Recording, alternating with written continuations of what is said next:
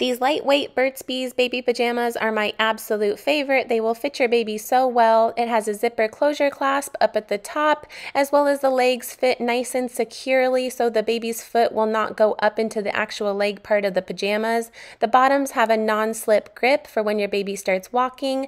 The hands are also nice and secure so their hands won't get lost in the pajamas.